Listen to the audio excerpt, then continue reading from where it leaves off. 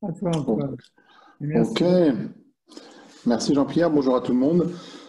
Donc l'idée euh, ce matin, c'est de, de, présenter ce que la, la, technologie, notamment satellitaire, permet de faire dans la modélisation, euh, la digitalisation du, du, monde extérieur, notamment de la supply chain, mais plus largement de, de tout ce qui est en dehors de, de l'entreprise pour avoir une connaissance euh, plus précise des, des, événements et de ce qui se passe euh, à l'extérieur, ce qui, euh, dans le cadre du Covid, est évidemment de plus en plus intéressant dans la mesure où les voyages sont extrêmement réduits, comme nous avons pu tous le constater. Donc, je vais partager un écran. Et comme le disait Jean-Pierre, n'hésitez pas à poser des questions en, en temps réel. Alors, en revanche, l'animateur doit m'activer le, partage d'écran là. Je suis désactivé là. Euh, ah.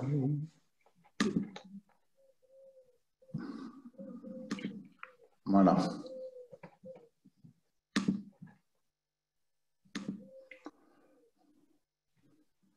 Donc avec un peu de chance, vous me voyez. Oui, oui, oui, on voit, on voit le tableau. Donc, un peu d'historique. Mon, euh, mon, background, c'est la tech. Donc, j'ai été patron de DS euh, France. J'ai vu qu'il y a des anciens dans la, dans la, dans la salle. Et, euh, et, j'ai passé aussi pas mal de temps chez, euh, chez Schlumberger. Mon dernier job, j'avais créé Schlumberger Business Consulting. Euh, du conseil en stratégie pour les compagnies pétrolières qu'on a entendu à Accenture. Et j'ai toujours été étonné par la, euh, mauvaise qualité des informations qui étaient disponibles pour les, decision makers, pour les décideurs dans le monde de l'énergie. L'information sur les stocks euh, de pétrole était inexistante, alors que c'est le driver fondamental, enfin c'est l'indicateur fondamental de, de l'équilibre ou du déséquilibre de l'offre et de la demande comme on l'a vu très récemment avec le crash du, euh, prix du brut, euh, qu'on avait très bien anticipé. Euh, on n'a aucune visibilité sur les réserves qui sont considérées comme stratégiques et donc manipulées par les États. On n'a pas d'idée de la consommation en temps réel. comme l'a montré les derniers chiffres de l'IEA, ils ont révisé de 10 millions de barils par jour en un mois leur estimation de la demande. Donc on est dans un monde qui est essentiel pour notre avenir, pour euh, l'avenir de, nos enfants avec le, changement climatique, avec les pressions géopolitiques qui sont liées euh, à l'eau euh, et à l'énergie, avec les conséquences évidemment sanitaires du, changement climatique. et on, traverse, on aborde cette épreuve sans, information, sans données. Donc l'objectif de Kairos, Kairos c'est le, dieu grec de l'opportunité, est de, de fournir aux donc aux décideurs dans le monde de l'énergie, mais plus généralement dans le monde industriel, une information fiable sur ce qui se passe dans le monde pour qu'ils puissent prendre des, décisions sur la base de faits et non euh, euh, d'hypothèses ou de, données euh, qui sont laguées de deux ans ou totalement inexistantes. Donc il y a plusieurs façons de faire ça. Euh, je vais rentrer un peu dans le détail ultérieurement. C'est euh, euh, on peut essayer de voir, de comprendre tout ce qui se passe partout dans le monde, ce qui est assez compliqué parce que le monde est quand même assez vaste. Ou alors on se focalise. Et l'idée de Kairos, qui reprend en fait les concepts d'intelligence, je dirais dans, le domaine du renseignement, c'est de se focaliser sur les actifs qui comptent dans le monde de l'énergie et plus largement dans le monde industriel et de comprendre tout ce qu'il est possible de comprendre sur ces actifs-là. La bonne nouvelle, c'est qu'il y a en fait un nombre relativement limité d'actifs. Euh, dans le monde de l'énergie, il y a des puits, il y a des, il y a des pipelines, il y a des, il y a des endroits de stockage, il y a, des il y a, des, il y a du transport, essentiellement par, euh, par bateau, donc on peut suivre les bateaux et il y a des raffineries. Donc, euh, il y a un nombre limité de, types d'actifs. En revanche, dans chaque type d'actif, il y en a plusieurs milliers. Donc, l'idée, c'est qu'on va calibrer nos, signaux sur, euh, sur, une, euh, sur une centrale, disons à charbon ou une centrale à gaz. Et une fois qu'on a compris comment on pouvait utiliser les satellites pour connaître le fonctionnement de cette centrale, on va donc faire un rollout mondial, et ce qui va nous permettre de suivre toutes les centrales au charbon, centrales à gaz ou toutes les cimenteries dans le monde entier. Donc en fait, on crée un système d'observation de la Terre, une espèce d'observation des actifs plutôt que de l'observation de la Terre. Euh, c'est de l'asset observation ce qu'on fait, scalable. Euh, et la, grosse différence entre ce qui se passait il y a quelques années et ce qu'on a aujourd'hui, c'est qu'on a maintenant des, satellites euh, dont l'imagerie est gratuite, essentiellement lancée par l'Agence spatiale européenne, qui revisitent la Terre tous les 2-3 jours, dans certains cas tous les jours, et qui prennent des vues toujours avec le même angle. À partir du moment où on prend des vues toujours avec le même angle, c'est là où on peut mettre de l'algorithmique complexe par-dessus, puisqu'on va, va, détecter des changements qui ne sont pas visibles à l'œil nu. Euh, et c'est ça qui crée la puissance des algorithmes, qui nous permet d'avoir des informations extrêmement fiables, sans avoir à acheter les informations euh, très haute résolution des militaires, qui ne sont pas accessibles d'ailleurs. Donc en fait, on, arrive à obtenir en fait un x10 dans la résolution, euh, grâce au fait que les, les, vues sont toujours prises de la même orbite. C'est ça qui va nous permettre d'avoir un signal extrêmement faible, euh, extrêmement, euh, à, très faible coût et extrêmement précis en même temps, qui, est, qui était jusqu'à présent le, la principale barrière à l'utilisation de cette technologie dans le monde civil. les militaires n'ont pas de, de limite. Dans le civil, évidemment, on ne peut pas se permettre d'acheter de suivre 100 000 puits dans les, aux États-Unis en payant à chaque fois 1000 euros par jour pour chaque puits. Donc Eros, on est à peu près 150 personnes. J'ai créé ça il y a un peu plus de 4 ans. C'est du VC funded avec la recherche à Paris. Euh, on a une centaine de personnes à Paris et un, bureau de développement, product development, sales and marketing à Houston, New York, Londres, Singapour et du développement software à, à Bangalore, puisque bon, notre système euh, éducatif ne forme pas d'ingénieurs software, donc il faut bien qu'on aille les trouver où ils sont. L'idée étant de changer la façon dont les décisions sont prises dans le monde euh, énergétique et industriel est une ambition importante. Euh, donc je me suis entouré de gens qui connaissaient le sujet pour pouvoir y arriver.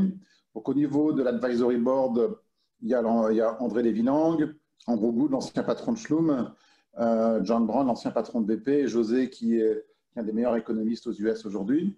Donc ça, c'est les gens qui connaissent l'industrie, qui connaissent les sujets euh, et qui permettent de définir la, donc la stratégie d'entreprise. Et au niveau des fondateurs, c'est plutôt des scientifiques. C'est un problème extrêmement complexe à gérer. Euh, si personne n'y arrivé jusqu'à présent, c'est pas faute d'y arriver, c'est parce qu'il y a une grosse barrière technologique. Donc je me suis entouré de gens qui viennent de, l'école normale supérieure, de Berkeley, de, Jean-Michel Lasserie, qui est un des meilleurs mathématiciens aujourd'hui, ou Antoine Alf, qui est à Columbia, donc des gens qui connaissent, euh, qui ont accès aux meilleurs étudiants pour nos recrutements et qui ont accès aux meilleurs labs, euh, aux meilleurs chercheurs pour la validation de nos hypothèses. Et ensuite, on a un management assez, costaud, donc avec des, gens qui sont capables d'exécuter. Béatrice était chez Google en charge de, des partenariats en, en AI. Simonet était chez Schlumberger et avant était en, banque d'affaires. Marty, notre CFO, euh, qui est américain et qui euh, a travaillé dans le monde du SaaS, et Jean-Pierre a toujours été dans le software. Donc on a une capacité d'exécution de, euh, notre stratégie. Et sur l'équipe, c'est très recherche. On a une, vingtaine de, docteurs, essentiellement en maths, autour de l'intelligence artificielle, de la physique.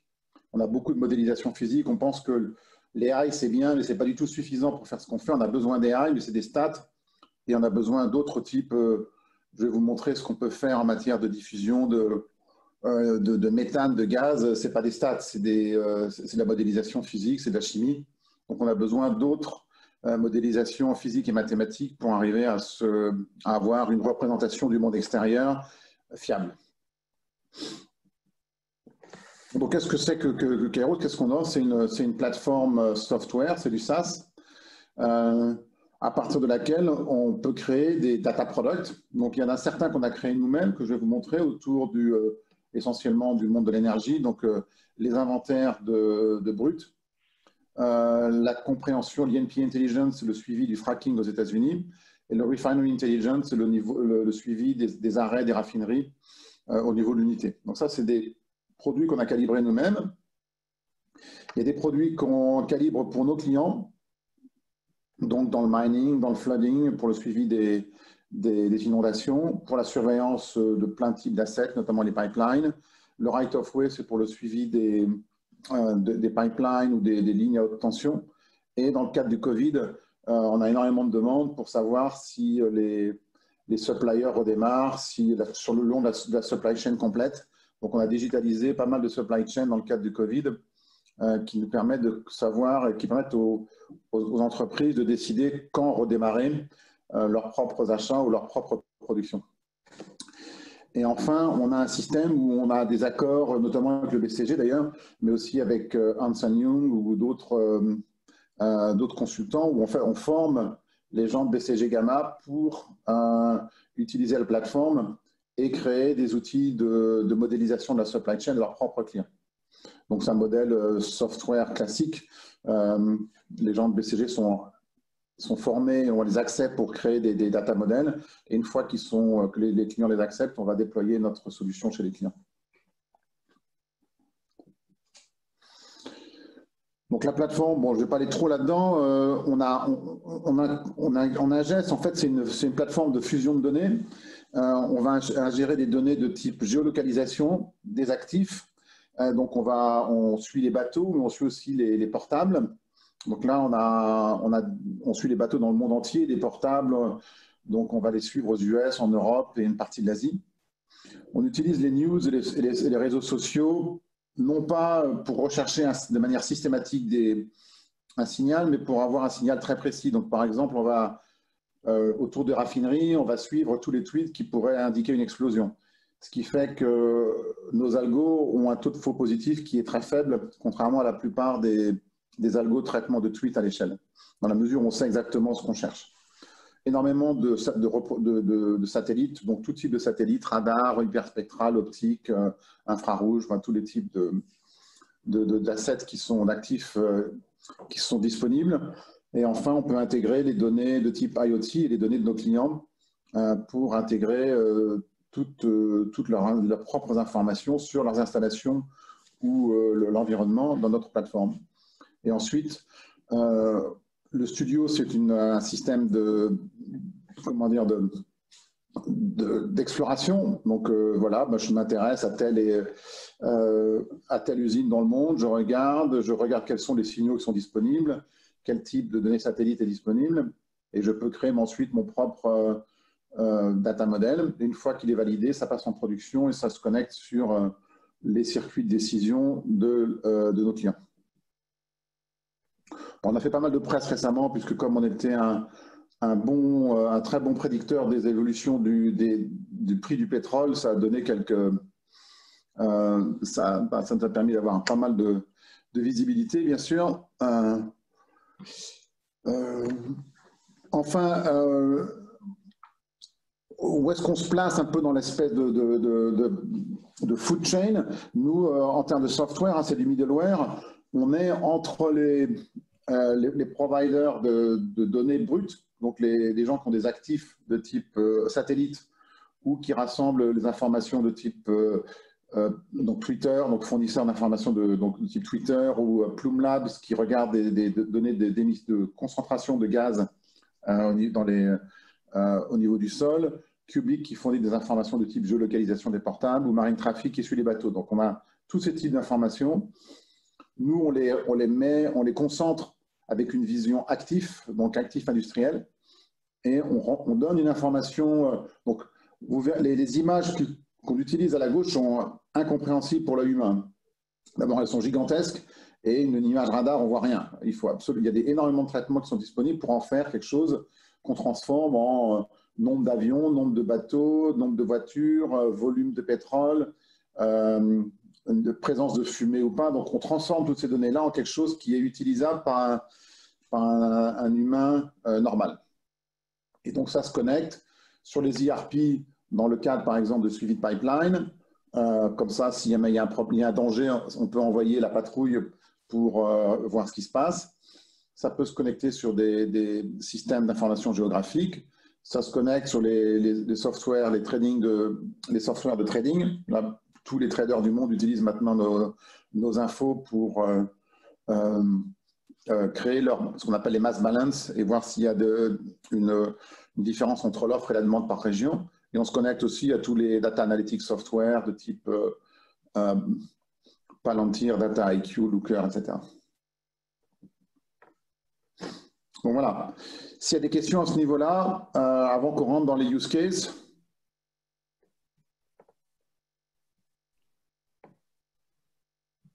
Hmm, pour l'instant, je ne vois pas de questions. Alors, Florent a levé la main. Ah. Florent.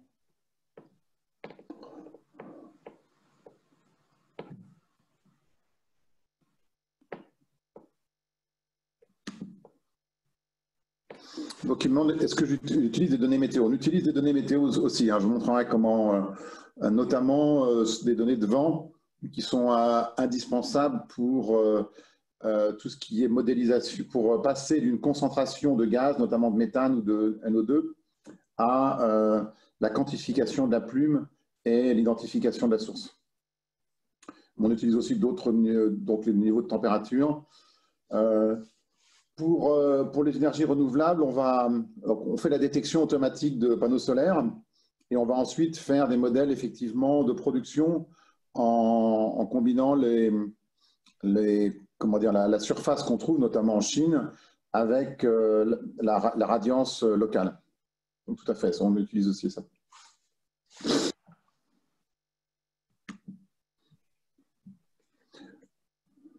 Donc Florent remercie.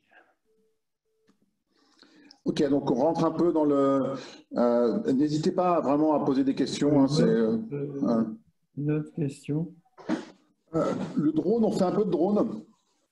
Donc, mais, mais pour l'instant, c'est des données qui sont assez complémentaires, mais hum, qui sont assez chères et très locales. Donc, on a plutôt aujourd'hui, on essaie plutôt d'avoir un système qui, nous permet d'avoir les mêmes informations partout dans le monde. Donc, on va utiliser des drones de manière ponctuelle, euh, mais ce n'est pas pour l'instant notre, euh, notre, euh, comment dire, notre source d'information principale. On arrive à la même précision que, les drones dans pas mal de choses, dans tous les, notamment sur les mesures de volume en, trois dimensions, même probablement plus précis que les drones, beaucoup moins cher. En revanche, on ne va pas faire de la recherche très fine de, de, de, petits défauts sur une surface comme les drones pourraient faire, notamment sur les, des réseaux basse tension, des choses comme ça.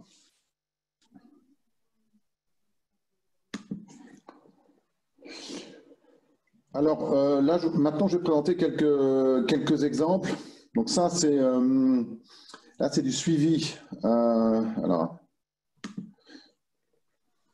voilà. Donc ça, c'est en rouge, c'est un, c'est un pipeline haute pression de gaz et il y a des obligations, c'est aux États-Unis, il y a des obligations aux États-Unis, en Europe aussi bien sûr, de, de regarder s'il n'y a pas des, incursions sur les, zones, de les, les, safety zones, donc la zone de sécurité autour du pipeline. Donc euh, la, la, technologie utilisée aujourd'hui, c'est des avions euh, où en fait, on s'est rendu compte qu'ils rataient pas mal d'événements.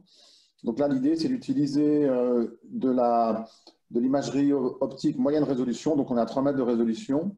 la fréquence est journalière et on fait la détection automatique euh, de, travaux. Donc là, c'est ce que vous voyez en, vert et euh, d'équipements de type Earth Moving Equipment, de type Caterpillar. Donc ça, ça permet euh, aux équipes de surveillance du pipeline de savoir si les, si les travaux ont été autorisés ou pas euh, éventuellement d'envoyer une patrouille, ce qu'on appelle la pipeline patrol, pour euh, regarder sur place ce qui se passe et de, prévenir les gens qu'il y a euh, un danger important à proximité de, leur, de leurs travaux.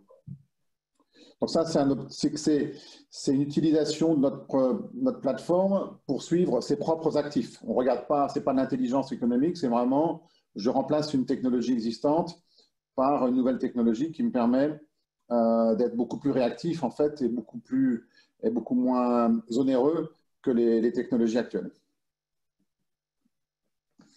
On fait la même chose pour la détection de végétation. Donc en haut, c'est de l'utilisation de l'imagerie basse résolution Donc, c'est du Sentinel-2 à 10 mètres de résolution. Donc, on, peut, créer des masques et identifier les, les arbres. Et ensuite, on va, euh, on va tasquer de l'imagerie à haute résolution pour faire la reconstruction 3D et calculer la hauteur de la canopée. Euh, encore une fois, là, c'est pour les propres actifs des opérateurs qui connaissent la hauteur de leur, euh, de ligne. Et donc, on est capable de voir s'il y a un danger qui est éventuellement de, de remonter de la canopée au niveau des lignes.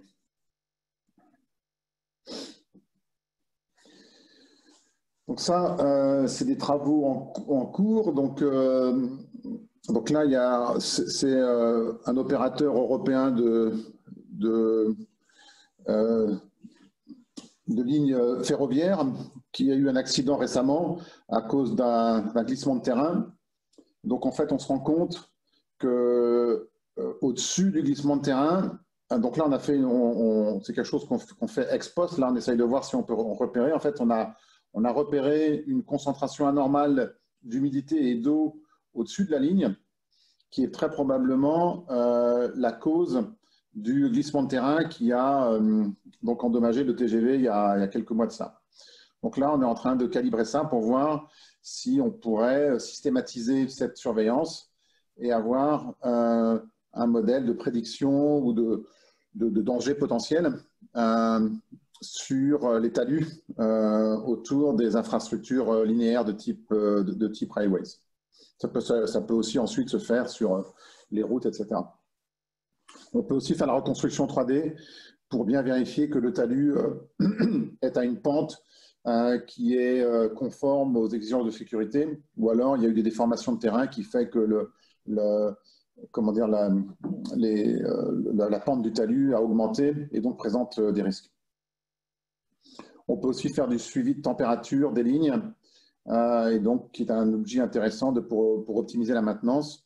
Au lieu d'envoyer euh, des équipes partout de manière un peu random, on peut voir s'il y a eu des variations de température importantes sur les lignes grâce à une, euh, une lecture très fine de la température au sol. On est à 0,1 degré près. et donc, sachant que les, variations de température sont le facteur essentiel de, fatigue des voies. Ça permet d'optimiser les, euh, euh, les équipes de maintenance. Donc ça, c'était suivi de... Euh, je vais passer hein, donc, sur des, use cases qui sont un peu différents, donc n'hésitez pas à m'arrêter.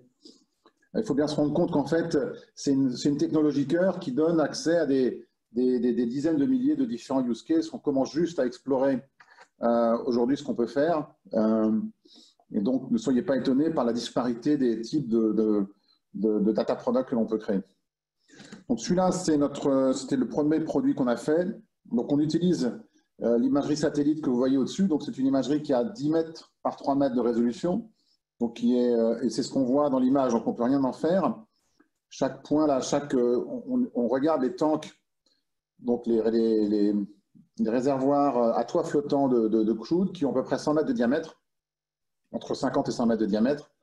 Donc, euh, et euh, en, imagerie radar, ça donne trois points. Donc, chaque rangée ici, avec de trois points, représente une dizaine de tanks, chacun de 100 mètres. Donc, vous voyez que l'image est quand même très peu résolue.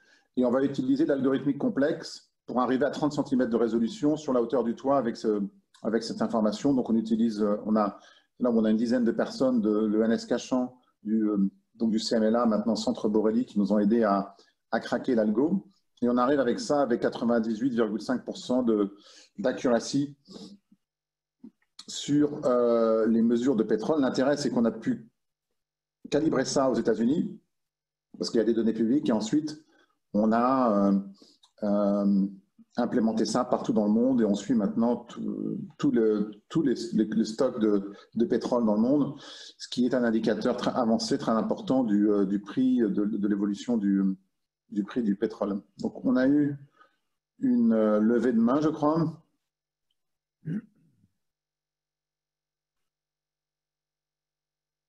Non.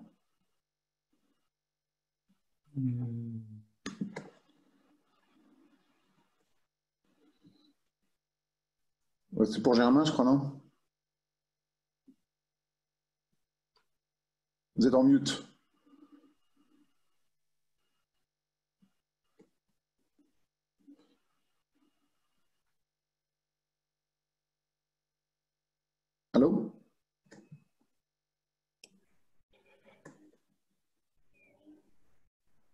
Je crois qu'on vous entend pas.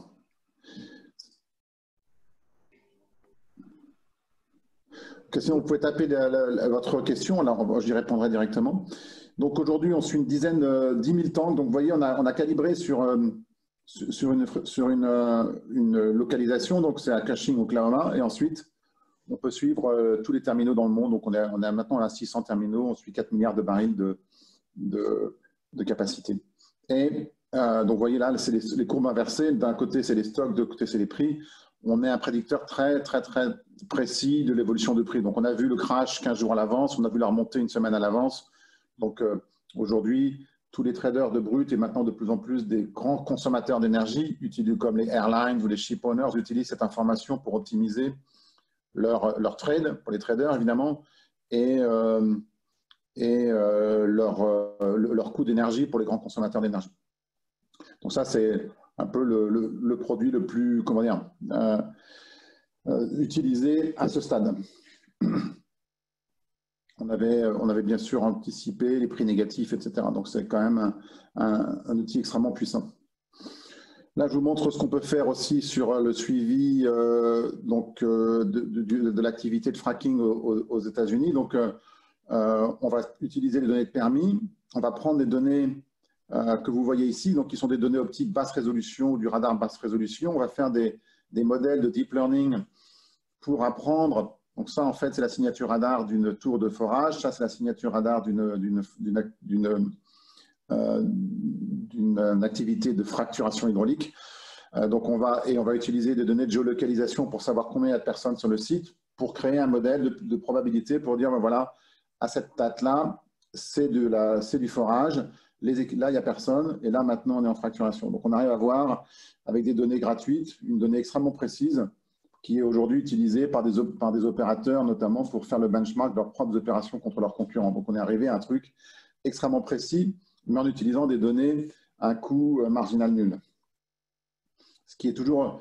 Euh, c'est très facile de, voir des choses sur, sur Google Earth, mais le problème pas là. Google Earth, c'est mis à jour tous les, les deux ans, euh, on peut rien, enfin, ça sert à rien. C'est bien pour comprendre une situation, ça ne permet absolument pas de suivre le statut d'un actif.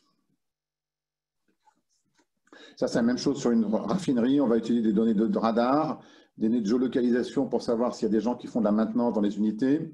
On va suivre le flaring, donc euh, le, le torchage, les bateaux pour les exports, les observations pour de, optiques sur les parkings pour voir s'il y a du monde, plus de monde que d'habitude, et les réseaux sociaux pour les, événements anormaux de type euh, explosion, etc. Ça, c'est sur du LNG.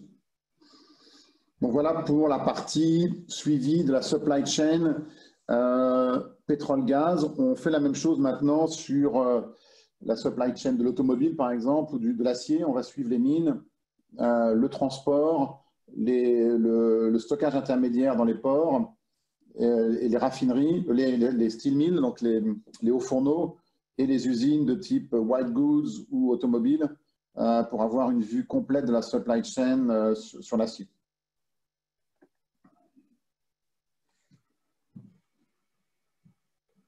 Question?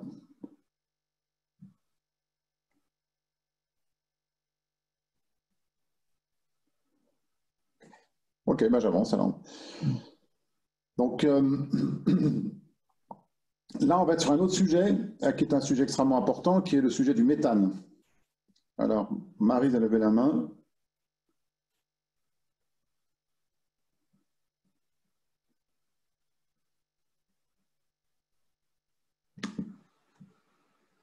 Ah, erreur de ma part.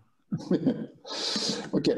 Euh, donc là, on va passer sur un sujet, euh, l'autre face du monde de l'énergie, c'est leur, euh, euh empreinte, les, externalités, donc l'empreinte carbone des, des fossil fuels. Donc, évidemment, c'est un sujet. La, grosse, très bonne nouvelle, c'est que depuis en fait 2019, il y a un nouveau satellite qui a été envoyé par l'Agence spatiale européenne qui s'appelle Sentinel 5P comme précurseur, qui permet de passer de la résolution qu'on avait de suivi des gaz à effet de serre, donc qui était de 50 par 50, donc qui permettait de suivre des émissions à niveau d'un pays ou d'une région, mais qui ne permettait absolument pas d'attribuer les émissions à un actif particulier. Là, on a une résolution de 5 par 7. Et ce que je vais vous montrer, c'est que grâce à ça, on est capable d'attribuer les émissions de NOx et de SOx, donc les polluants, et les données de, méthane à des actifs et donc à des opérateurs, ce qui, est, ce qui va permettre de euh, mettre en place le principe de pollueur-payeur qui était impossible de mettre en place jusqu'à présent. Il faut voir qu'aujourd'hui, si vous voyez la, la, la charte à gauche, euh, on dépense énormément d'argent en Europe pour, euh, pour être propre et on, se, on, est très, on est très fiers de nous. Mais en fait, on a juste exporté nos, émissions. Quand on regarde les émissions euh, européennes en incluant les émissions qui sont liées aux importations d'énergie et de, d'agriculture, de, soft ou de tous les, tous les biens de consommation, on n'a pas bougé, on n'a pas, pas, fait, on pas diminué nos émissions euh, depuis, euh, depuis une quinzaine d'années. Donc on est dans un système assez hypocrite où on se fait plaisir en dépensant beaucoup d'argent, mais on, euh, ne fait qu'exporter nos émissions dans d'autres pays. le fait qu'on puisse maintenant mesurer de manière globale va permettre de casser cette, situation dans la mesure où on va pouvoir mesurer le contenu carbone des grandes importations au sein de l'Europe. Alors bien sûr, c'est un premier pas. Hein. Il y a d'autres satellites qui arrivent qui permettront d'être plus précis. Aujourd'hui, on peut détecter des très grosses fuites, mais comme vous le verrez, c'est quelque chose qui est déjà extrêmement important. Alors là, j'ai des questions. Oui. Donc on me demande, est-ce que j'utilise toujours des données gratuites? On utilise, il y a 99% des données gratuites, on utilise aussi des données payantes, notamment pour faire la 3D. Euh, là, on fait du tasking, euh, mais on va étudier notre modèle est de toujours trouver la source de données la moins onéreuse possible, euh, de manière à pouvoir euh, étendre le plus possible d'actifs. Donc, euh, Twitter, la géolocalisation est payante, mais il n'y a pas de données, y a le coût marginal est nul. Donc, une fois qu'on a les données sur un pays, on peut faire plein de. Donc, là, elle est payante, mais le coût marginal est nul. Les données satellites de l'Agence spatiale européenne sont gratuites. On va utiliser, en revanche, tout ce qui est moyenne et haute résolution, on va utiliser des données payantes mais on va toujours essayer de voir si on a une autre alternative pour ça. Et il y a une question qui demande comment vous avez démarré l'entreprise. La masse de données et la science associée paraît gigantesque. J'imagine sur un use case avec quelques sources de données clés où effectivement on a commencé sur euh, le, suivi de la chaîne logistique de pétrole. Donc euh, les stocks et la production, c'est que donc moi je viens, de, je viens du pétrole. Euh, je voulais absolument pas m'arrêter au pétrole, mais on a commencé avec ça que c'est là où il y a l'argent, c'est là où il y a des, enjeux, euh, et c'est là où on a pu rapidement euh, trouver des clients traders sur ce sujet.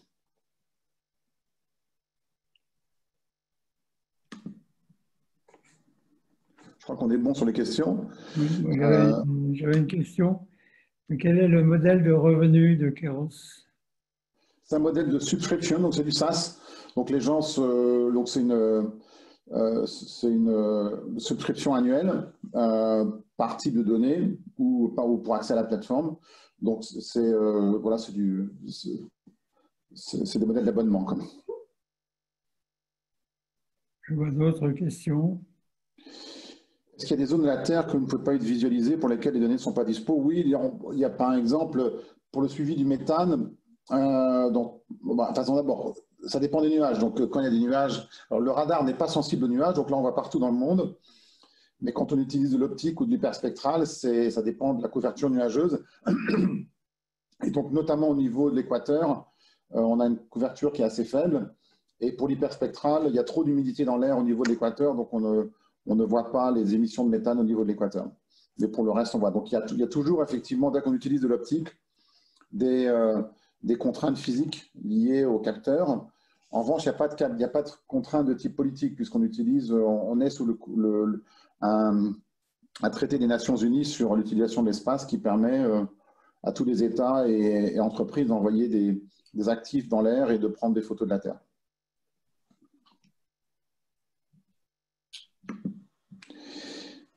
Et donc tous les gaz à effet de serre, on on peut pas suivre tous les, gaz à effet de serre, donc c'est essentiellement le méthane. On commence à comprendre, à voir des choses sur le CO2, mais c'est assez compliqué.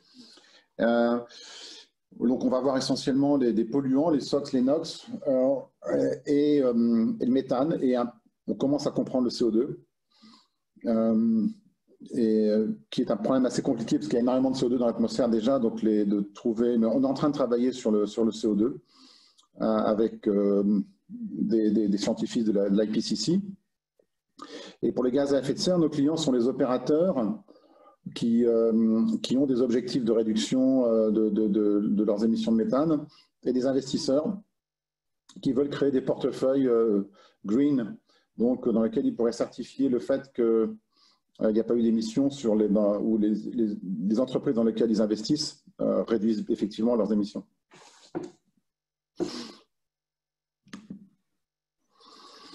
Donc, il y a une question sur le nucléaire. Le nucléaire, on va juste suivre les cooling towers pour voir si c'est on-off, euh, mais on s'arrête là. Parce qu'il marche assez bien. Alors, dans le méthane, les, les, comment dire, la, science jusqu'à ce qu'on fasse, jusqu'à ce qu'on craque un peu les données de Sentinel-5 qui ont été disponibles l'année dernière, on pensait qu'il y avait, il y avait que trois, euh, ce qu'on appelle ultra-émetteurs, donc euh, supérieurs à 10 tonnes de méthane par heure, qui étaient documentés. Un à l'Iso Canyon aux États-Unis, Ohio, et un au Turkménistan. Donc en fait, euh, le consensus était qu'il y avait très peu de de, très grosses fuites de méthane. Quand on a, on a, fait le, on a, on a analysé toutes les données de Sentinel-5 sur l'année 2019 et on en a trouvé euh, entre 50 et 100 par jour. Donc c'est 5, or, 5 ordres de grandeur, 4 ou 5 ordres de grandeur de plus. c'est délirant, quoi. que euh, ce que l'industrie reconnaissait, ou les, scientifiques d'ailleurs.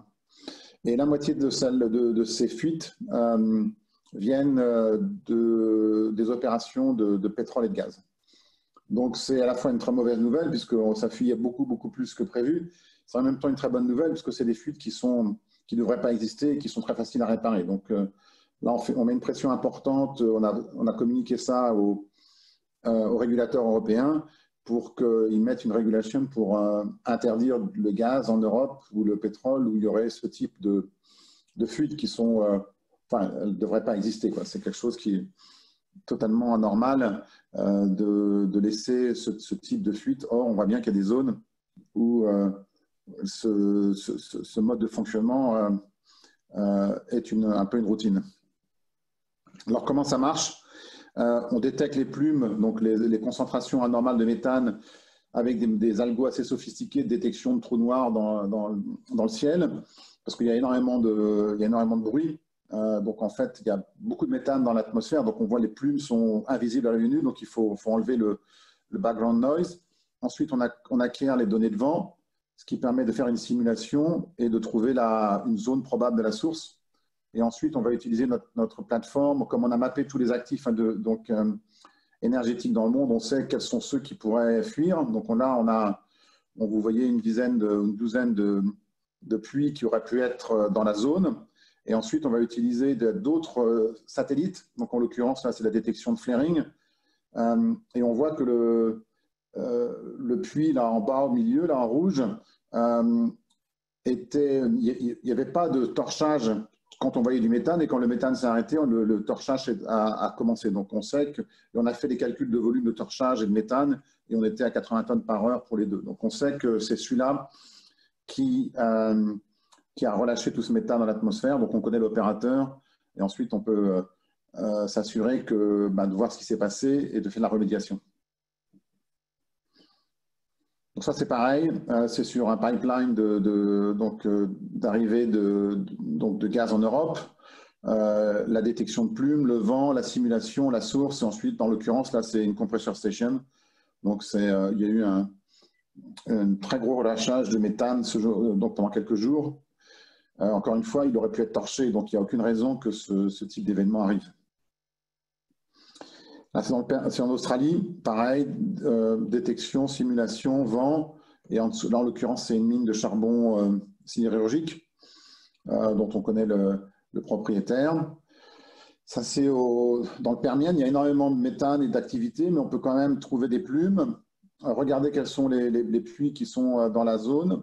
Et ensuite, on va utiliser ce que je vous ai montré tout à l'heure, donc optique et radar, pour savoir où est-ce qu'il y a eu de l'activité sur chacun de ces, de ces puits.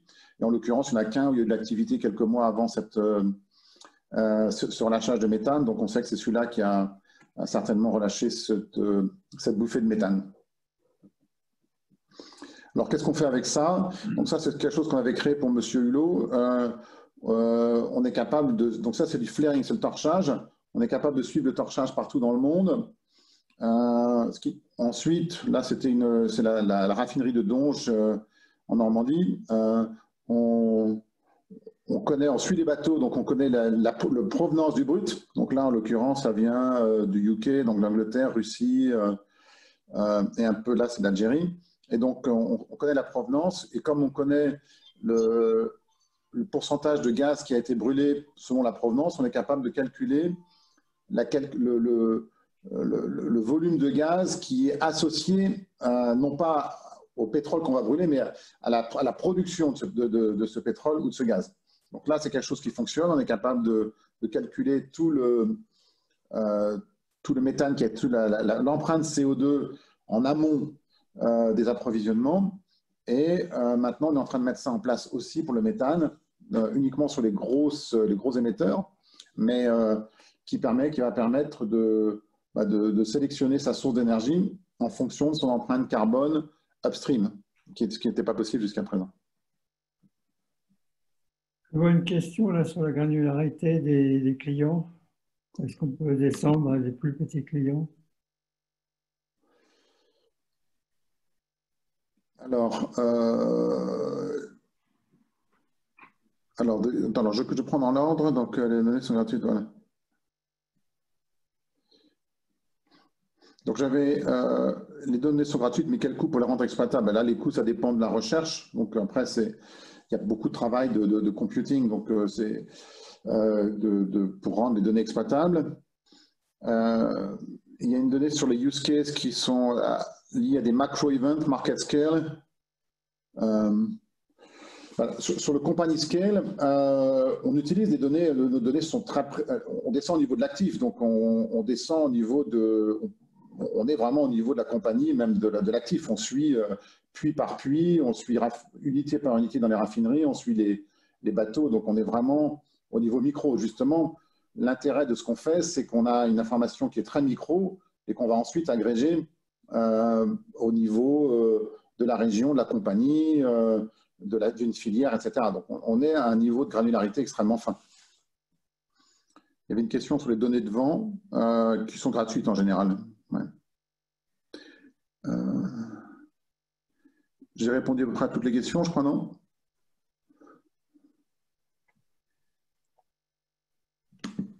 Pour l'instant, oui.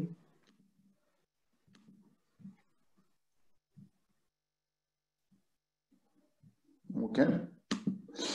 Alors, donc la question, bien sûr, c'est euh, qu'est-ce qu'on fait avec ça? Euh, Donc nous, c'est un peu le, ce qu'on dit aux régulateurs européens si on attend un, traité global avec euh, les équipes, euh, avec la tension nationaliste qu'on voit ces temps-ci, ça va être un peu compliqué.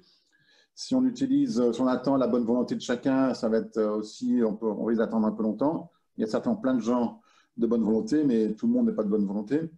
Et donc, l'idée, quand même, c'est que l'Europe mette en place un système de régulation qui, qui interdit ce genre d'événements et qui va permettre de commencer à lancer un système vertueux où les compagnies savent que euh, euh, leurs opérations ne sont pas simplement surveillées dans les pays régulés, euh, mais aussi dans les zones où elles travaillent dans le monde entier, ce qui va permettre de, s'assurer que la chaîne complète, la chaîne logistique complète de ce qu'on consomme, notamment en Europe, respecte les, mêmes. Donc, on, met tout le monde sur le même playing field.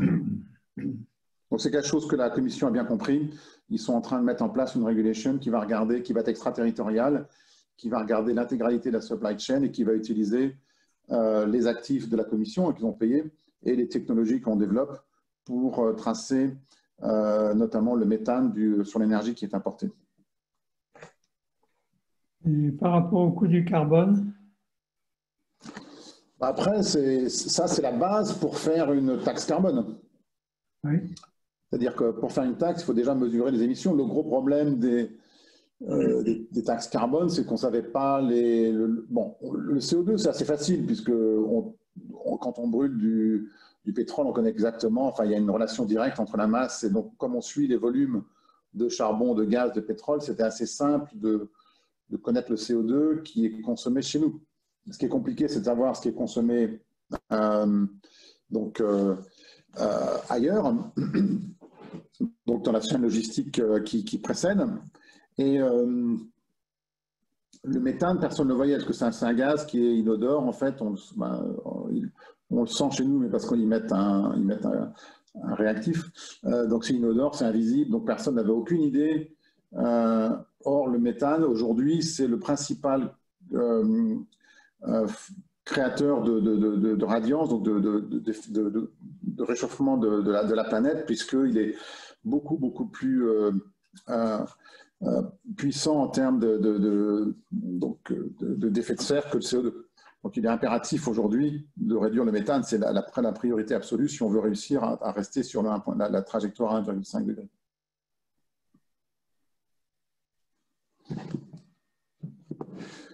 Ok, donc je continue sur maintenant un autre sujet complètement différent, quand même lié un peu au climate change, donc avec le flooding.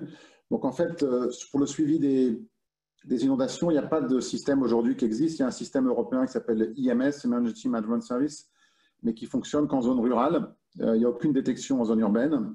Donc euh, là, c'est l'EMS. Ça, c'est une, une, flood qui a eu sur, la Seine il y a quelques années de là. Et l'EMS n'a rien détecté. Donc nous, on a mis au point un système qui permet de détecter 90% de, de la zone couverte et de donner des, donc euh, avec très grande précision euh, les niveaux d'eau euh, dans, dans, les zones couvertes. Et donc l'idée, c'est de faire un modèle 3D avec de haute résolution, d'utiliser l'imagerie satellite pour détecter l'eau. Donc on ne détecte pas toute l'eau, mais on détecte les endroits où il y a de l'eau. Donc on sait que là, on est sûr qu'il y a de l'eau. Là, on est sûr qu'il y a de l'eau. Et on, on, utilise les réseaux sociaux aussi pour détecter de l'eau, puisque les gens tweetent quand ils sont inondés, ou Instagram. Et donc ensuite, on va prendre euh, les données de détection d'eau et le modèle 3D jusqu'à ce qu'on et on fait un best fit jusqu'à ce qu'on ait l'ensemble des points euh, où, on est sûr qu'il y a de l'eau qui est couverte, et ce qui nous donne la zone qui a été inondée. Donc c'est extrêmement intéressant parce que ça va évidemment sauver des vies puisque les, en quelques heures, on va pouvoir donner aux, emergency services, au, secours, aux services de secours d'urgence, euh, où est-ce qu'il y a des problèmes, où est-ce qu'ils peuvent passer, où est-ce qu'ils ne peuvent pas passer. Et ça aussi, un intérêt euh, extrêmement intéressant. Donc, euh, un intérêt, donc ça, c'est la partie euh, monitoring. Et il y a une côté risk mapping pour faire des, des, flooding modeling, des risques scénarios et de voir pour protéger telle ou telle usine, tel ou tel entrepôt, comment je pourrais le protéger, où est-ce que je peux créer des, des barrières pour empêcher l'impact de, des événements de cette nature. Donc ça, c'est une situation très différente. de, c'est la même plateforme, hein, c'est les mêmes sources de données, même technologie de base, la 3D, du radar, des, réseaux, des, réseaux, sociaux, traitement massif de, données euh, pour arriver à quelque chose de très précis qui est utilisable par des décideurs de type euh, euh, risk manager ou supply chain manager en amont ou assureur et donc secours d'urgence ex post.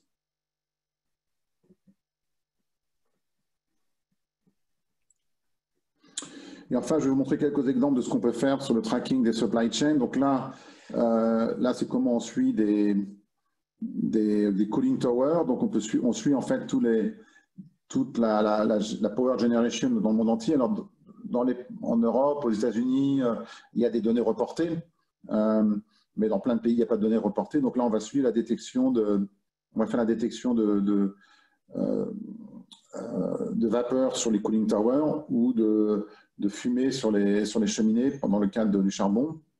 Donc là, ça, ça nous donne ça, c'est que quand on agrège toutes les, 50, les 56 euh, coal fire plants euh, en, Inde, euh, vous voyez les, différentes années, 2017, 2018, 2019, puis 2020, le crash lié au Covid et le début de, et le début de, redémarrage donc des, de l'activité génération électrique en Inde. Là, on peut suivre, là c'est au niveau d'une usine. donc là, on va suivre le nombre de personnes dans l'usine. Donc on voit que le, nombre de personnes a commencé à baisser bien avant le shutdown, avait, c'est une, usine où il y avait beaucoup de cas de, Covid. Et elles avaient déjà commencé à, baisser énormément leur, leur, personnel bien avant le shutdown. Et on voit que ça a redémarré suite aux injonctions de, de M. Trump. Là, euh, on fait du suivi de, sur le, style, euh, donc sur le, en, faisant la détection de chaleur. On peut suivre les trafics de voitures. Euh, on peut faire donc on peut suivre, on peut ségréguer entre, les voitures et les camions. Donc on s'est rendu compte, notamment aux États-Unis, que la, euh, la baisse de l'activité, elle était essentiellement sur la gasoline, donc sur les particuliers, mais le trafic commercial a très peu baissé en fait aux États-Unis euh, pendant la crise, ce qui fait que l'essentiel de l'activité quand même, euh, donc une partie, une grande partie de l'activité est restée active. Ça, on peut suivre aussi l'activité dans les shopping centers. Et en fait, c'est ce qu'on utilise hein, pour le. on, publie toutes les semaines avec les échos et, et Young Consulting un indice de recovery par pays. Donc, on a, on a mis ensemble tous ces types d'informations pour suivre un certain nombre de, de, de grands secteurs industriels euh, et de les combiner. Donc, au niveau, on descend à chaque fois au niveau micro hein, sur chaque usine et ensuite on combine ça. Donc là, on peut suivre les, ça, c'est une usine de, c'est une cimenterie. Euh, ça, c'est une autre cimenterie en Chine.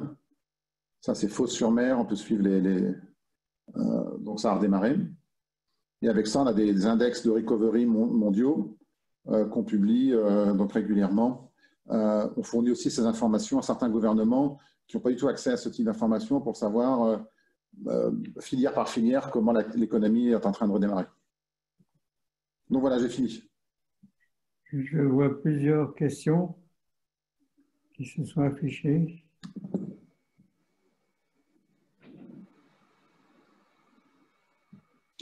Alors, quelle est la marge d'erreur plus ou moins dans vos estimations des émissions? Donc aujourd'hui, on est à peu près à euh, entre 10 et 20% d'erreur sur, les, euh, sur les flux. Euh, ce qui n'est pas trop un problème, puisque aujourd'hui, on est vraiment. il n'y a pas encore de logique de, de, quantification précise pour des objectifs de carbone, de, taxes, etc. L'objectif étant essentiellement de, limiter les. de s'assurer que ce type d'événement n'arrive pas. Voilà, on est aujourd'hui, euh, euh, voilà, c'est l'ordre de grandeur. Euh, donc, quand on détecte les fuites de méthane, les opérateurs ont-ils été informés pour arrêter la fuite dont il fait Donc, aujourd'hui, on n'est pas dans une logique de name and shame. Nous, on travaille avec des opérateurs pour qu'ils mettent en place ce type de, de, de, système. Et on a six opérateurs avec lesquels on est en train de travailler. Leur objectif était évidemment d'arrêter les fuites et de pouvoir prouver qu'ils n'ont pas de fuite de cette nature. On a, une, on a une question sur l'agriculture. Donc aujourd'hui, on ne fait pas d'agriculture. Euh, on a la techno, mais euh, pour bien fonctionner en agriculture, il faudrait qu'on euh, qu'on recrute une, petite équipe avec les connaissances agronomiques. Enfin, c'est quand même un sujet très complexe. Donc c'est quelque chose qui est dans notre pipeline, mais qu'on fera euh, probablement plus tard, dans l'année prochaine. Euh, on, a une capacité, on, a, une question sur la capacité de prédiction. Bah, la capacité de prédiction, euh, elle est use case par use case, c'est-à-dire qu'en fait, bon, sur le pétrole, on ne fait pas de la prédiction en tant que telle, on fait de la mesure, mais la mesure des stocks permet de prévoir, de faire la prédiction sur l'évolution des cours. Donc, euh, euh, et ça fonctionne très très bien. Euh, donc, sur la plupart des, commodities, donc le, suivi du, du minerai de fer, donc la, mesure instantanée des stocks est un très bon prédictif de l'évolution des cours, donc parce que c'est ça montre si, si, les stocks montent, c'est qu'il y a plus d'offres que de demandes, et s'ils baissent, c'est le contraire. Donc, c'est vraiment, c'est un effet prédictif très fort. Ensuite, euh, le long des supply chains, c'est prédictif, mais euh, c'est toujours grâce à la mesure. On, évite le, plus possible d'utiliser des, modèles de type machine learning pour prévoir le futur. parce qu'on s'est rendu compte que c'est assez marginal comme, comme impact, ça ne marche pas très bien. on n'a pas suffisamment. Ça marche quand on a énormément de données de type maintenance, donc, mais avec les time series qu'on a, avec une mesure toutes les semaines sur 3-4 ans, les capacités de prédiction de type machine learning ne fonctionnent pas très bien. Donc on s'est vraiment focalisé sur la mesure de ce qui se passe aujourd'hui. Euh, et il y a un caractère prédictif si la mesure elle-même, indépendamment de ce qu'on fait, représente un phénomène qui a, qui a un pouvoir prédicteur. Donc on est revenu vraiment à la base des fonctionnements des marchés euh, ou d'une chaîne logistique donnée pour comprendre euh, où est-ce que ça coince et donc quel est l'impact donc la, nos mesures peuvent avoir sur les évolutions futures. Alors j'ai une question, quel impact ont les données réseaux sociaux sur la fiabilité des résultats par rapport aux données satellites? Euh, bah, En fait c'est très complémentaire, c'est que quand j'ai parlé des, floods, donc des, inondations, l'intérêt des réseaux sociaux c'est que c'est immédiat.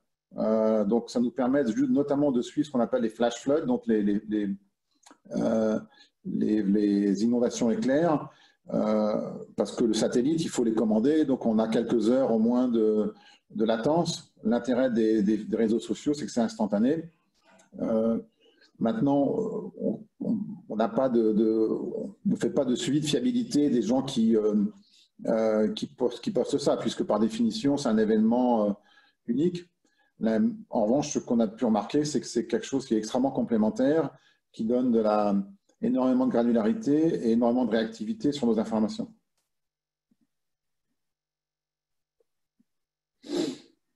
Alors, là, une question, c'est travaillez-vous spécifiquement sur le mix énergétique?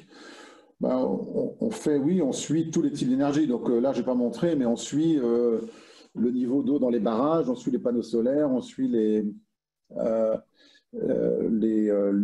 l'éolien, on, on, suit tous les types d'énergie. Et ce qui permet de reconstituer en fait dans les zones où il n'y a pas de reporting, quelles est euh, les émissions de type scope 2, euh, des, donc, euh, donc utilisation de l'énergie pour avoir éventuellement un système toujours, toujours de, de taxe carbone à l'entrée de l'Europe en calculant les émissions qui sont liées à l'utilisation de l'énergie dans telle ou telle donc, zone donnée.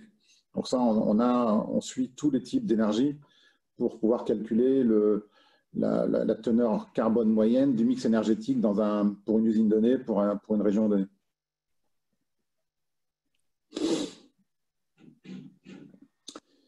Alors, euh, une grande part de l'impact écologique des produits est liée à la logistique et au transport des marchandises à cause de supply chain. Avez-vous une solution pour comprendre et influencer cela? Alors oui, on suit les bateaux.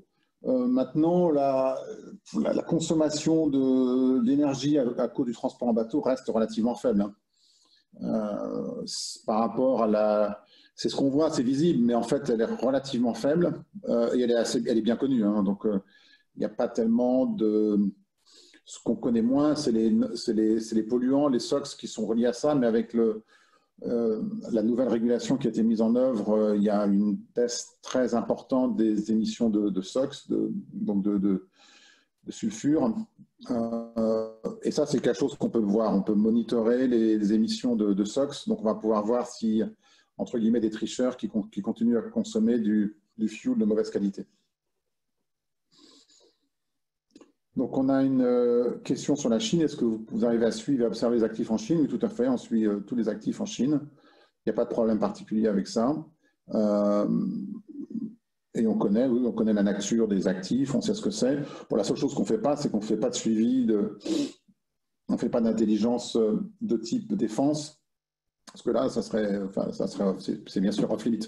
On reste sur les actifs industriels. Les Chinois utilisent aussi cette cette technologie. Euh, donc, c'est quelque chose qui est... Et on a pas mal de, clients chinois.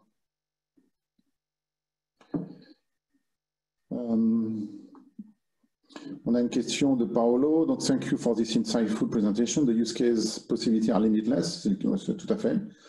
Uh, resource and time are limited. How do you get the source of inspiration for those use cases and how do you prioritize on them? Donc, en fait, euh, Dans l'équipe, moi je viens de l'énergie, donc je ne suis pas quelqu'un qui avait un outil, un jouet comme la satellite et qui s'est dit tiens, qu'est-ce que je vais en faire? J'avais un problème particulier qui était justement de comprendre les volumes, les émissions, enfin de, créer tous ces types d'informations. Donc je suis parti du problème. Donc je connaissais les, problèmes, ce qui nous a permis de construire cette, cette plateforme et maintenant, on se rend compte que cette plateforme, elle permet de répondre à plein d'autres problèmes. Donc, nous, ce qu'on va faire, c'est que sur le monde de l'énergie, on connaît suffisamment. Donc, c'est nous qui discutons avec nos clients et euh, on, crée des, on crée des use cases à la demande des clients. Donc, euh, on est capable de les calibrer. Donc là, euh, le flux, les, idées viennent des clients. Nous, on a fait des idées simples, enfin simples, évidentes, quoi, de type inventaire, suivi de fracking, des choses comme ça. Maintenant, les use cases suivants, ça vient des clients et on discute avec eux en direct. Mais pour les, pour les secteurs qu'on ne connaît pas bien, euh, on passe avec des partenaires. Donc, c'est notamment avec le BCG ou d'autres cabinets de conseil qui, ont, qui connaissent le problème. On les forme à notre techno et c'est eux qui vont euh, créer les use cases. Et on veut démultiplier comme ça euh, les types de use cases. À terme, je veux créer un Cairo Store comme un Apple Store où des développeurs externes pourront utiliser notre plateforme pour faire un, un modèle de prédiction locale ou de mesure de, euh, on, a fait un essai, on peut regarder la, mesure de, fréquentation des barres euh, en altitude. Donc on peut faire, il y a plein de choses qu'on peut faire. Euh, donc l'idée, ça serait de donner accès à la plateforme à des développeurs pour qu'ils créent leur propre data product et qu'on distribuerait de cette manière. Donc c'est comme ça qu'on va pouvoir démultiplier. C'est vraiment une, une technologie cœur. On ne va pas pouvoir maîtriser tous les use cases. Il faut absolument qu'on en maîtrise certains, parce que c'est comme ça qu'on apprend et qu'on évolue mais il faut qu'on fournisse à d'autres euh, donc, euh, intégrateurs. Donc, vous êtes bienvenus si vous avez envie euh, de développer. On est, on est très actif avec des, alors, on vient de signer avec Berkeley, on va donner des accès à des, étudiants de Berkeley pour qu'ils créent leur propre modèle de prédiction de ce qu'ils veulent. On est en train d'ouvrir pas mal d'ONG aussi sur la partie environnement. Donc voilà, l'idée est d'ouvrir notre plateforme pour que les développeurs externes créent leur propre modèle avec euh, leurs propres données de calibration.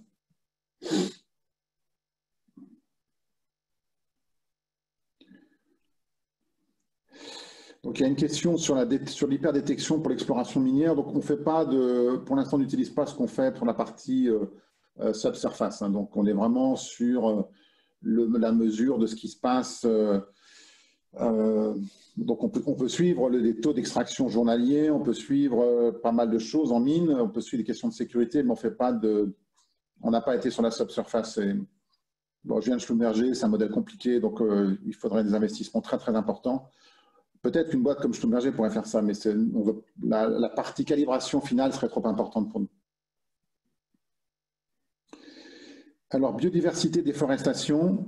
Euh, oui, alors on est en train de lancer un projet avec des, scientifiques de l'IPCC sur ce qu'on appelle les carbon sinks. Donc, il y a dans le système de, training de carbone, tout le monde investit dans les forêts, mais personne ne mesure ce qui se passe en, réalité dans les forêts. Donc, on va mettre un système, de suivi des forêts euh, qui servent au, carbone offset pour s'assurer qu'elles ne sont pas coupées, euh, et qu'elles sont managées de manière cohérente avec les objectifs de séquestration de carbone. Donc ça, c'est un truc assez compliqué parce qu'il faut... y a plein de phénomènes euh, physiques qui se passent dans la forêt, les, arbres qui tombent, les, machins qui brûlent, etc. Donc on est en train de... On a deux chercheurs, deux, thèses là-dessus, avec des, le du le, LSCE et des...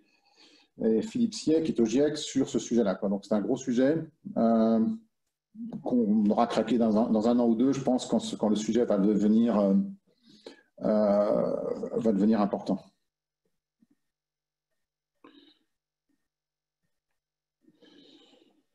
Donc, euh, est-ce qu'on combine les éléments du mix énergétique pour les tendances de substitution-transition Oui, bien sûr, on, a une vision en temps réel du mix énergétique par, par pays. Quoi. Donc, on est tout à fait capable de suivre les, euh, les engagements de, Paris, de la COP 21, euh, euh, dans, chaque pays. Comment va évoluer l'accès aux données, satellites, free ou payants bah, Il y, a beaucoup de nouveaux satellites qui sont plutôt payants, donc il y a pas mal de... Donc, ils vont, donc La NASA est moins environnement ces, temps-ci, on espère que ça reviendra. L'ESA a un, vrai programme de, pour finaliser leur constellation de, satellites et j'espère, on est très actif avec eux et on a démontré quand même que c'était extrêmement utile. Donc, je pense qu'il y aura de nouveau des financements publics euh, là-dessus, mais ça sera un horizon probablement 10 ans. Euh, les Japonais et les Coréens sont assez actifs aussi.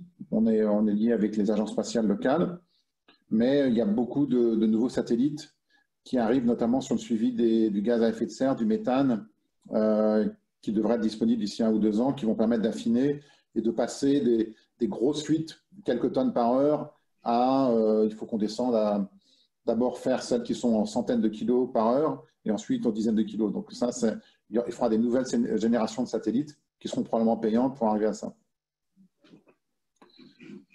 Donc notre concurrence était l'américaine ou chinoise. Euh, les américaines, on a, deux, concurrents américains qui sont Orbital Insight et Descartes Lab, qui sont très financés par la, défense américaine. Euh, voilà, c'est assez classique. Euh, on espère qu'on va résister. Il y a une question de Sébastien, le modèle est dépendant de la gratuité des données. Euh, quid si les opérateurs commencent à vous vendre ces données? Donc nous, on utilise les données gratuites viennent des, des agences spatiales, de l'ESA, la NASA, qui n'ont aucune raison à ce stade de changer leur modèle gratuit. Hein. C'est leur modèle, c'est de mettre euh, des données à disposition des, des régulateurs et des sociétés commerciales comme nous euh, de manière à, créer du public good euh, en améliorant euh, les modèles enfin tout ce qu'on fait. Donc, on ne voit pas de problème à ce stade. mais on aura probablement, avec l'arrivée de nouveaux satellites, nouvelles constellations payantes, on utilisera probablement plus d'informations payantes. Le problème est, dépend encore une fois du, use case. Est-ce que le, retour sur investissement euh, est suffisant euh, pour nos clients? Et donc, c'est une question d'échelle, de pricing. On va voir comment ça évolue, mais le prix des images a plutôt tendance à baisser. Euh, j'ai une question de Stéphane. À la date de ce jour, qu'est-ce que vous souhaiteriez pouvoir proposer à vos clients et que vous ne pouvez toujours pas? On a plein de choses. mais clairement, ce qui manque aujourd'hui, c'est des capteurs de méthane plus précis méthane, CO2, donc euh, de l'hyperspectral plus, plus précis spatialement et, surtout en seuil de détection. Donc on travaille avec euh, bah, des fournisseurs de satellites pour savoir comment faire. Euh, c'est vraiment aujourd'hui ce qui manque le plus compte tenu de, bah, la, problématique du changement climatique. Il ne reste plus beaucoup de temps devant nous et de la puissance que, cet outil a pour résoudre ce type de problème. Et donc, quand prévoyez-vous de lever des fonds À qui parler pour participer? Bah, Contactez-moi. Là, on est, en, en phase de lever, donc euh, contactez-moi en direct. Euh, quelle est la part de R&D versus production le catalogue de produits? Euh, En clair, quels use cases sont matures et déployés Aujourd'hui, tout ce que je vous ai montré, à part le flooding, est mature et déployé et utilisé comme. Euh, flooding et méthane. Méthane, on est en train de déployer. Comme. Euh, mais, même ceux-là ont été faits, euh, c'est des POC payants, c'est-à-dire c'est des, opérateurs qui ont, qui ont payé pour le développement et avec qui on est en train de discuter une stratégie de, déploiement. Donc on, ne fait plus de, RD sur des use cases propres. On continue à faire de la RD sur des sujets de fond, donc je parlais des forêts, euh, on a d'autres, euh, on travaille sur d'autres, euh, sur l'interférométrie, on travaille sur un certain nombre de, données de base, mais pour les use cases, on ne fait plus que des, projets qui sont demandés et payés par des clients. Avez-vous des clients entreprises qui font appel à vous pour estimer et piloter l'empreinte carbone de leurs fournisseurs. Donc aujourd'hui, on est plutôt au niveau des investisseurs qui regardent ça. Mais moi, je pense que à terme, nos, euh, nos clients vont effectivement utiliser ces informations pour suivre euh, leurs fournisseurs. Ça me paraît assez évident. Alors, dans le gaz, c'est en train de, se mettre en place puisque les traders veulent suivre. Euh, il commence à y avoir des pricing différenciés selon la propreté du gaz. Donc les traders comprennent qu'ils vont devoir suivre leurs propres fournisseurs. Donc là, on pense que c'est quelque chose qui va se mettre en œuvre assez rapidement. Donc, quel est le business model dans le partage de votre plateforme avec les universités, partenaires ONG, etc. Ben, le business model est euh, on leur met à disposition gratuitement euh, notre plateforme sur un, sur un set de données précis euh, qui permet de. Et nous, l'avantage qu'on a, c'est que ça crée des nouveaux use cases. et donc, ça augmente la visibilité de la plateforme. Donc, on ne sait pas on a euh, une grosse partie de notre valeur ajoutée vient de la base de données de tous les actifs qu'on a pu documenter dans le monde. On ne va pas ouvrir tout ça au public, évidemment.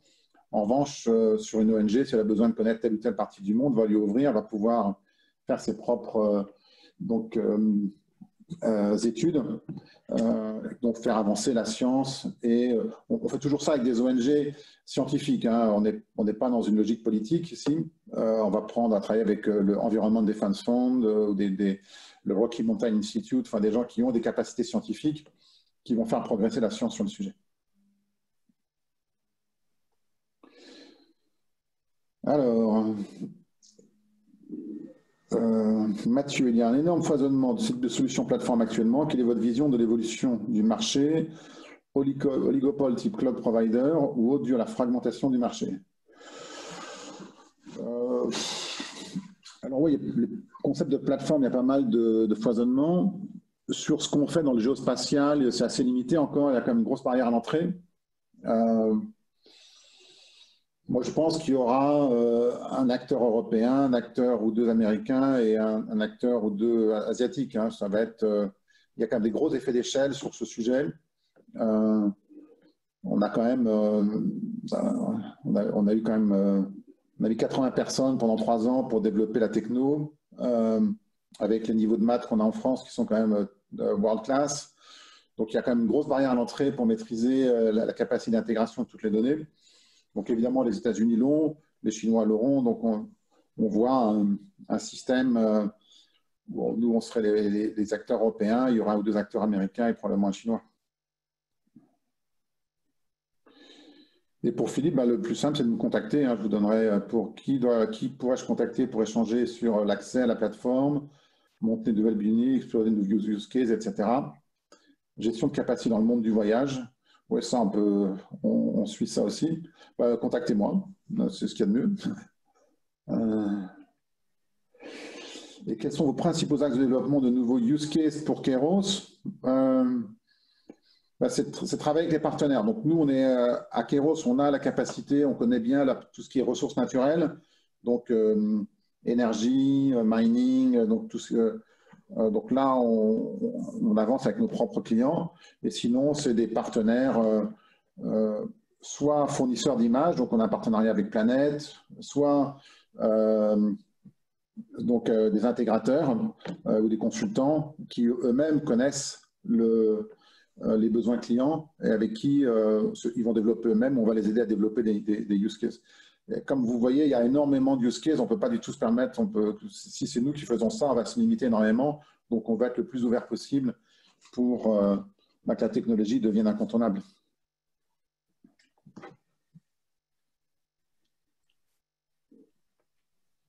Bon, mais il semble qu'il n'y ait plus de questions. Voilà. Ben, merci beaucoup Antoine. J'espère que la levée de fonds va bien se passer. C'est une levée de fonds importante. Pas mal, ouais, on verra. Il n'y a pas de limite. D'accord. Merci, oui, merci beaucoup. Bonne journée Antoine et au plaisir de se parler éventuellement. Et merci à tous les auditeurs et aux poseurs de questions. Et donc, euh, rendez-vous maintenant le 9 euh, juillet sur un sujet tout à fait différent, qui sont les aspects juridiques de l'intelligence artificielle, les droits et les devoirs, avec un, avocat d'un grand cabinet euh, américain à Paris. Voilà. Merci Bonne beaucoup. Journée. Bonne journée. merci, merci. Veux-tu être mis en relation avec l'exécutif secrétaire de Je sais pas. Euh, volontiers, là, pour. oui. GIEC, oui. L'IPMS, oui, volontiers, oui. Je ne sais pas qui a demandé ça, mais très volontiers. Il y a, il y a un numéro. ouais. Merci, bonne journée.